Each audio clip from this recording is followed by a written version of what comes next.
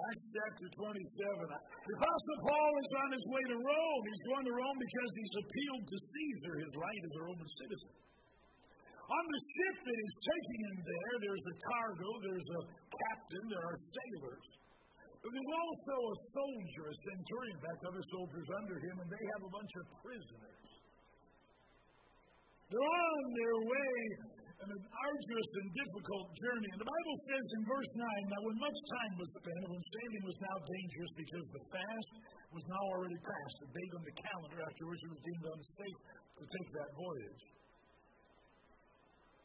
Paul admonished them and said to them, Sirs, I perceive that this voyage will be with much hurt and hurt and much damage, not only to the lading and ship, but also of our lives.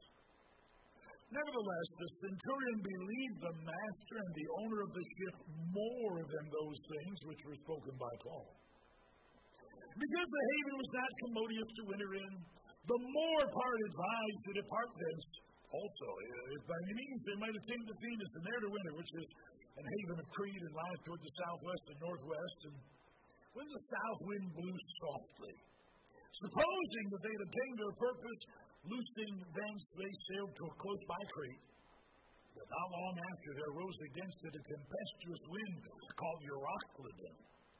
And when the, the ship was caught up and could not bear up into the wind, we let her drive, and turning under a certain island which was called Clauda, we had much work to come by the boat, which when they had taken up, they used help undergirding the ship, and fearing lest they should fall into the quicksand, strake sail, and so were driven. And we being exceedingly tossed with a tempest, the next day they lightened the ship, and the third day we cast out with our own hands the tackling of the ship.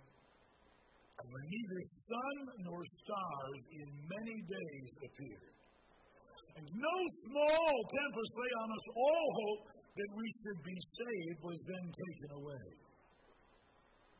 But after long abstinence, Paul stood forth in the midst of them and said, Sirs, you should have hearkened unto me, and not have loosed from Crete and have gained this harm and loss.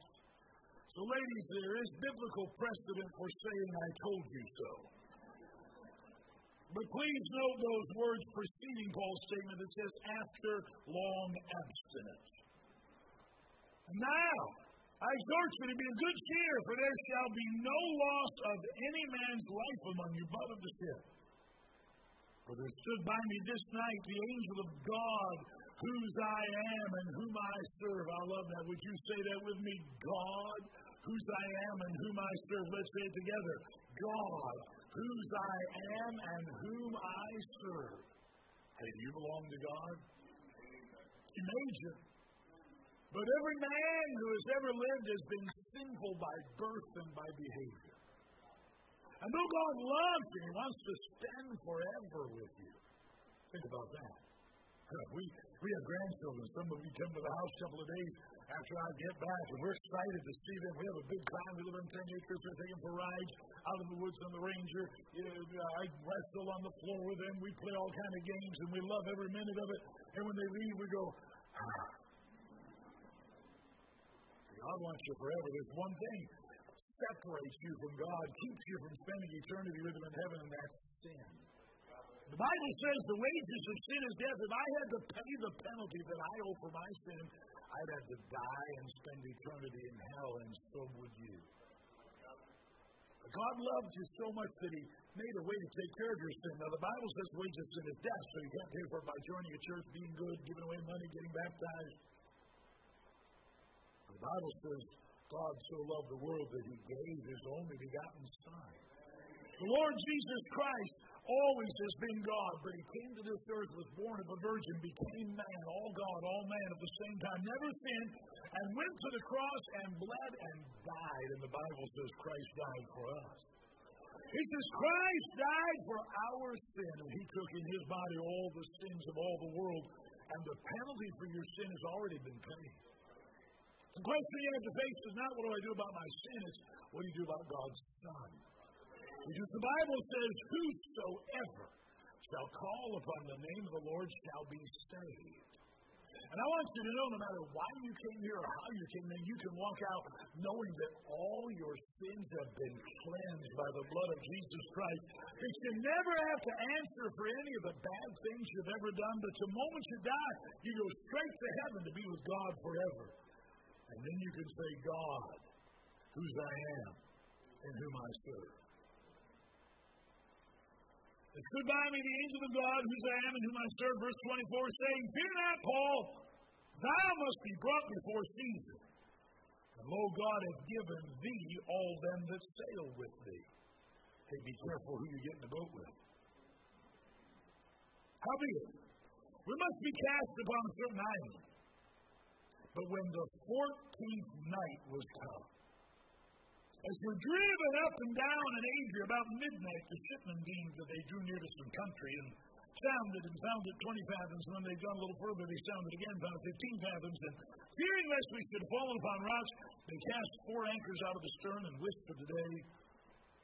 And as the shipmen were about to flee out of the ship, when they let down the boat, this would be the light boat, the uh, smaller boat on the big ship, under color, as though they would have cast anchors out of the ship. Paul said to the centurion to the soldiers, except these abide in the ship, you cannot be saved. Then the soldiers cut off the rope for the boat and let her fall off. And while the day was coming, Paul besought them all to take me. Saying, This is the fourteenth day that you have tarried and continued fasting, having taken nothing. Wherefore my pray you to take some meat for this is for your health, for there shall not an hair fall from the head of any of you. Obviously, I was not on that boat.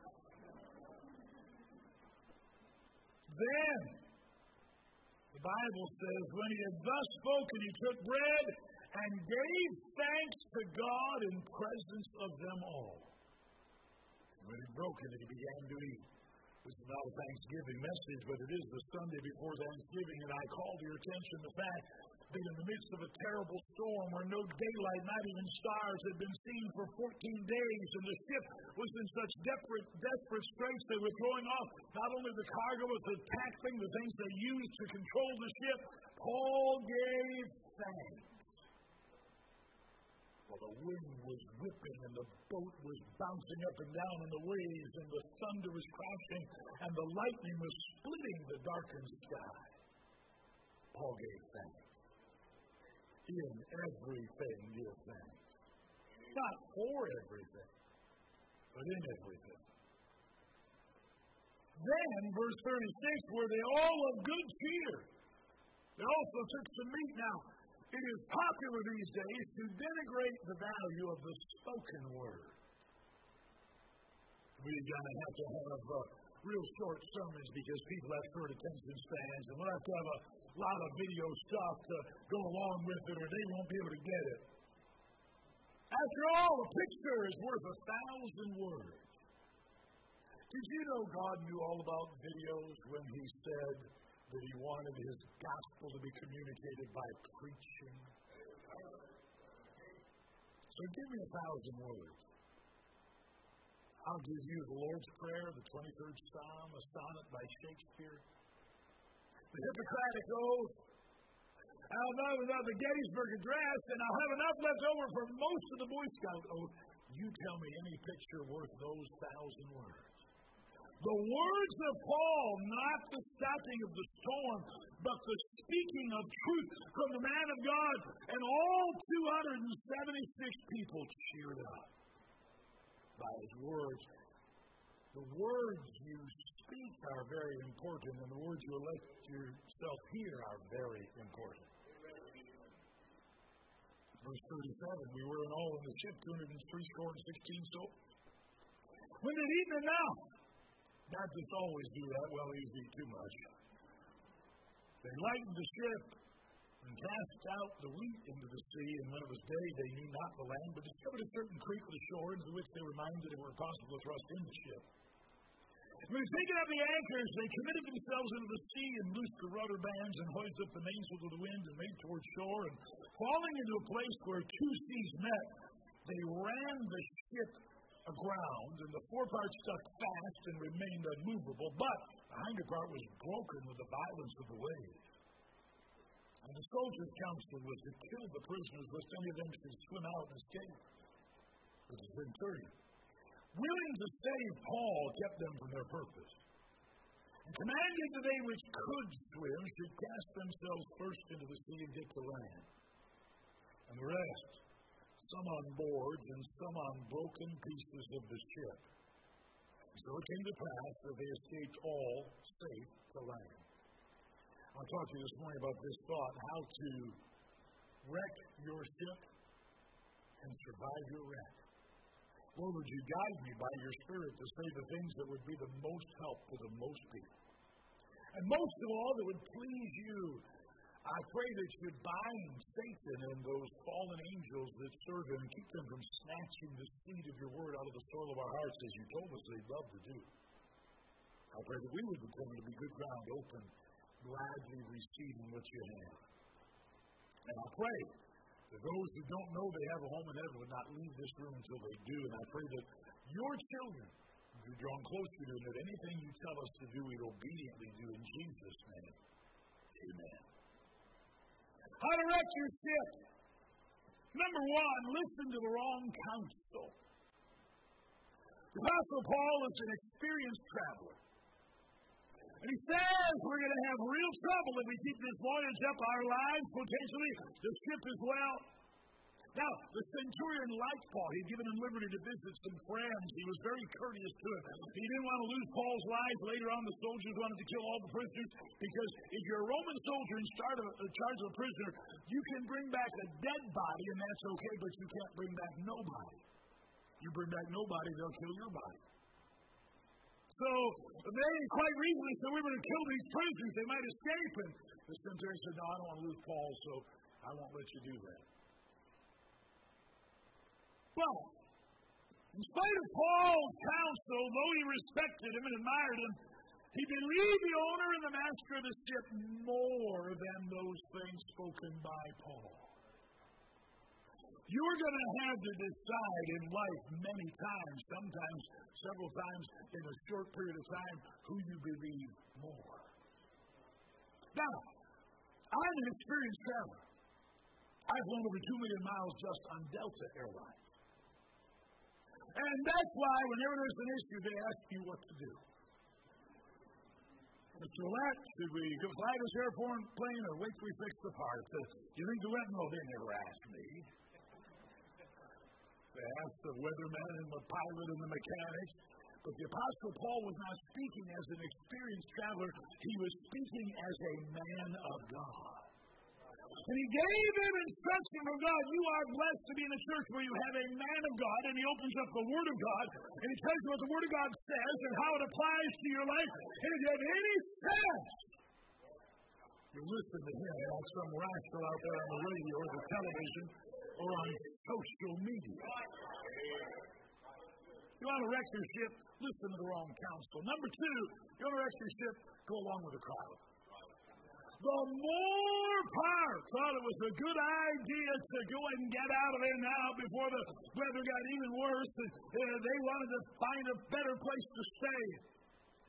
Did you know independent fundamental Baptists are not in the majority? Did you know God's people have never been in the majority? But did you know it doesn't make a lick of difference? Bob Jones Sr. used to say, You and God make a majority in any situation. The fact of the matter is that the majority is almost always wrong. Go along with the crowd. Do what everybody else does uh, cancel Sunday night church because some church down the road does it. Bring in rock and roll music because they think it helps you get some people in. Don't teach your children the Word of God. Uh, do some parent effectiveness training, and you never tell them they did anything wrong. And everything's okay. You just redirect them. Oh, that's lovely, that picture you colored on the wall. Why don't we try coloring one on this paper here? Parents who never tell their children that they are at fault for anything should not be surprised to have them grow up to feel that they're not responsible for anything. All right, the ship, listen to your own counsel. Number two, go along with the crowd. Number three, do what's convenient. Because the haven was not commodious to winter in. Come on, Paul. There's no Holiday Inn Express, nice place like your pastor has put me in. There's not even a Motel 6. Let alone not have the Chick-fil-A. We don't even have McDonald's or a Burger King. It's not convenient. We live in a society that is driven by comfort and convenience. And uh, God forbid that you'd have to give up your Sunday afternoon to put the gospel in a packet to help 25,000 people potentially know about Jesus. God forbid that you'd have to come to a service on a Sunday night or come back on a midweek service or attend every night of a revival meeting or get up early to read your Bible. No, if you want to wreck your ship, do what's convenient. Wreck your ship, listen to the wrong counsel, go along with the crowd, do what's convenient. But now they're in a storm. They're going to have shipwreck. But Paul says you can all survive.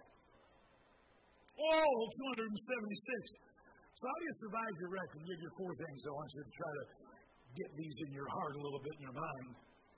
Number one, the sailors are about to take the lifeboat off of the ship and sneak away. The Apostle Paul notes it, the centurion, not one of the soldiers, the Apostle Paul. And he says to the centurion, Hey, unless these remain in the ship, you cannot be saved. If you don't have the sailors to sail the boat, we're going to not make it. Number one, if you want to survive your wreck, stay where you are. Everybody say with me, number one is stay where you are. Say that together. Stay where you are. Number one is what? Stay where you are. There is a human tendency to run from trouble.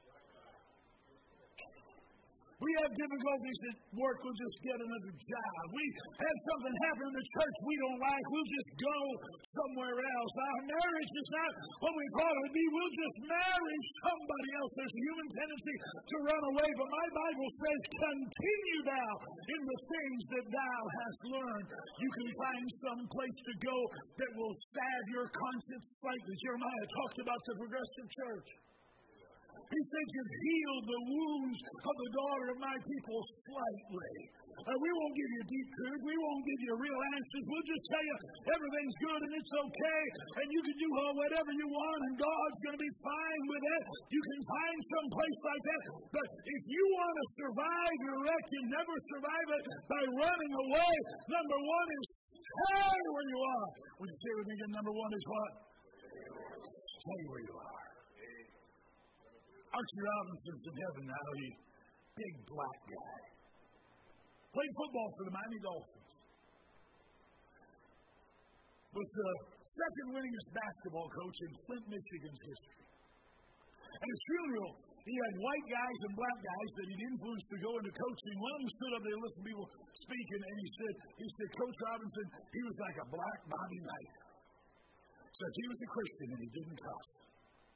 I'm one of the best Christians ever, ever to join First Baptist Church of Bridgeport. MVP for Hillsdale College, All American. Had one daughter. She went off to college. It just didn't seem right. The house was empty. And Archie Robinson decided, I'm going to leave First Baptist Church of Bridgeport. We have Tuesday night what we call a summer preaching conference at our church, about eight or nine, sometimes ten Tuesday nights, other preachers come in. We had the regular speaker for that Tuesday night couldn't come and had a friend of mine come from a couple hours away named Tom Harrison. And Tom Harrison talked about the children of Israel going through the wilderness and how if they hadn't been willing to travel that 40 years, they wouldn't ever made it into the promised land. And Archie Robinson said, that sermon changed my mind. I'm going to stay. He died a member First Baptist Church of Bridgeport. He lived long enough to see his daughter come back from college and teach on our staff, where she has been for 11 years. And October the 15th, just a little a month ago, had the privilege of performing her wedding to a wonderful young man. But it wouldn't have happened if it hadn't stayed run away. Number one is. Number two, we get further down in the passage. Ship's run into a creek. The first front part of it's stuck, the back part's broken off. And here's the command those who can swim should cast themselves into the water and swim. Huh? God's going to rescue me, and now I got to jump in the water. I thought God was going to do something miraculous and take care of me. I heard about a guy who was in a, an area where there had been terrible storms, the floods were rising, and sitting in his front porch, water almost to the top of the porch. And a rowboat came by and said, Mister, this flooding's going to get worse. We're here to rescue people. Let you get in the boat. No, he said, I'm a Christian. God's going to take care of me. Water got higher. He's down the second story of his house, looking out a window. A speedboat comes by. Mister, climb out that window, get in this boat. We're here to rescue people like you. This flood's going to get worse. He said, No, I'm, I'm a child of God. God promised me I'll always take care of me, never leave me forsake me. Water gets higher, he's down on the very peak of the roof, and the helicopter inside drops down a ladder, and they shoot it into him, grab the ladder, the water's getting get worse. He said, No, no, I'm saved. God will take care of me. The helicopter flew off, and he drowned. That's heaven. He said, God, why didn't you take care of me? You said you'd never leave me and forsake. I was trusting you, and I drowned. And God said, I sent you a rowboat, a speedboat, and a helicopter. What more did you want? So here's number two when you get in a storm, you want to survive your wreck. Do what you can. Can you swim? Swim. Number one is stay where you are. Number two is do what you. You don't have to me preaching? You see this, you travel around, and, there's churches bemoaning their inability to reach their area with the gospel. And they're all upset because maybe they don't have this. Don't, one doesn't have money, the other doesn't have population there, one doesn't have any workers, another doesn't have any building. And they thought, if I only had that, then we could do something for God. Well, I got a question. What can you do? Don't tell me what you can't do. What can you do? I wonder, I wonder if anybody can do this. They can't do that. Well, do what you can. Uh, uh, you got family troubles and you get paralyzed because of the issues.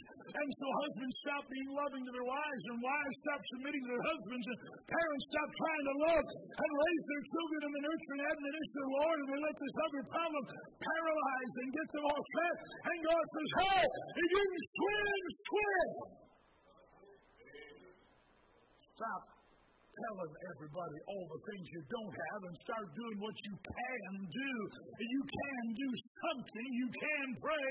You can read your Bible. You can be faithful to church. You can listen to the sermons from the Word of God and apply them in your life. Husbands can love their wives and families can turn to God. And you can witness to that unsaved neighbor and you can take a stand for the Lord Jesus Christ at work. Do what you can.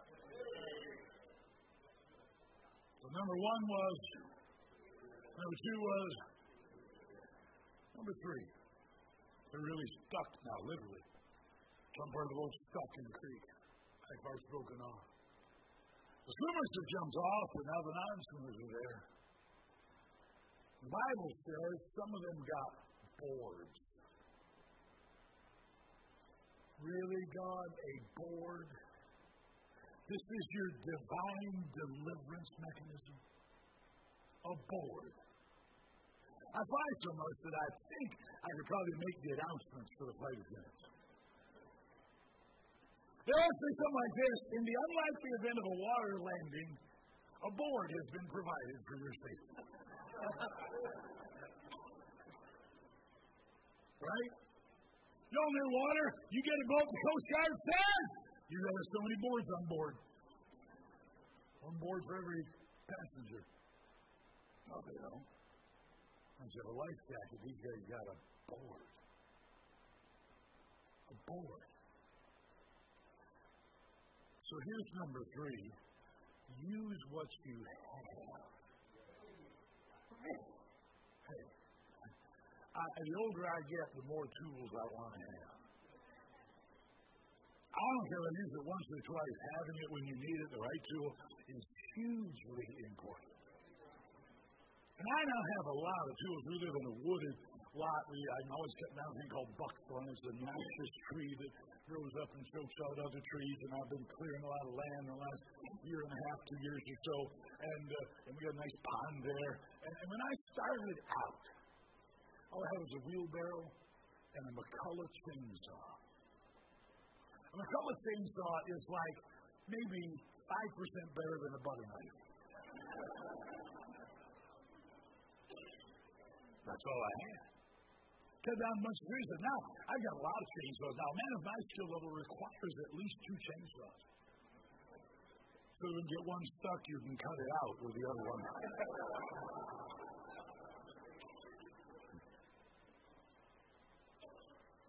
but I did not fail to do what I could do when I was limited in my potential and limited in my equipment. I used what I had. You get a board, grab the board. Don't feel sorry for yourself. Don't complain if somebody else has a life jacket and you don't have a board. Use what you got. So number one was, number two was, number three was, use what you have. Here's number four. The Bible says, and some on broken pieces of the ship. Wow. Didn't even get a board. They got a broken piece. They grabbed it and the splinters poked into their fingers. They pulled it to themselves and it hurt. I can imagine them seeing somebody go by a nice board and they got a broken piece. Oh, good for you. It's always this way. Always get the worst. The risk gets a board, I get a broken piece. But you know, it says they all got safe to shore. Here's the last suggestion you're going to survive your wreck. Stay where you are, do what you can, use what you have, what you can. I wish everybody got a board. I wish every family had a husband and wife to help raise the children. That's the way God set it up. I wish nobody had to worry if they maybe keep the power for another month. I wish nobody was in jeopardy of not being able to pay the mortgage, wondering if they're going to lose the house. I wish everybody had good health and could get out of bed and on their own power navigate and do everything they needed to do. I wish nobody had to barely drag themselves out of bed to the bathroom and every step was painful and difficult and it took them five times as long to do simple tasks as somebody else. I wish everybody got a board. But some got a broken piece.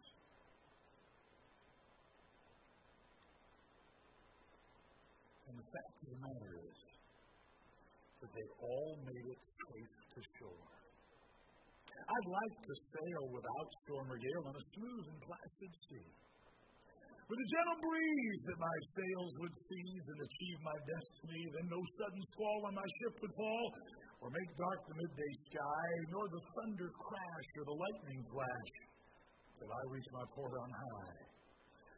Never troubled seas or opposing breeze, just smooth sailing day by day. Not a storm to face or my smile erase as I journey on my way. Never blown off course by the tempest's force. Not a bit of strain or strife, only light and peace, never joy decrease as I sail the sea of life and listen to the hooky pooky television station, they'll you that's what you're supposed to have. You'll always have money, you'll always be healthy. Your children always get all A's, your car will never break down, your tires will never go flat, and your dog won't have fleas. Especially if you send them money. The Bible says man is born to trouble the sparks fly upward. In the world you shall have tribulation. But the lightnings flash and the waves that crash interrupt my travels there. In my path I've lost as my ship is tossed and my life is filled with care. For the raging sea brings no peace to me, and the land seems far away. My poor ship will break and no headway make, and it's dark for many a day. Oh, now all hope I've lost is by waves I'm tossed in the violent troubled sea. It's all done, I think, as I start to sink. Then broken peace by me. Though I cannot swim and I'm tired of limb and a board is not my lot, I will seize the piece nor my grip release, for you see it's all I've got. Yet not really all, for on him I call and upon his word rely, that I'll make it o'er to that peaceful shore in my mansion by and by. So remember, friend, when things break and bend and your journey's really tough, though the storm won't cease, you've a broken piece. And with Jesus, that's enough.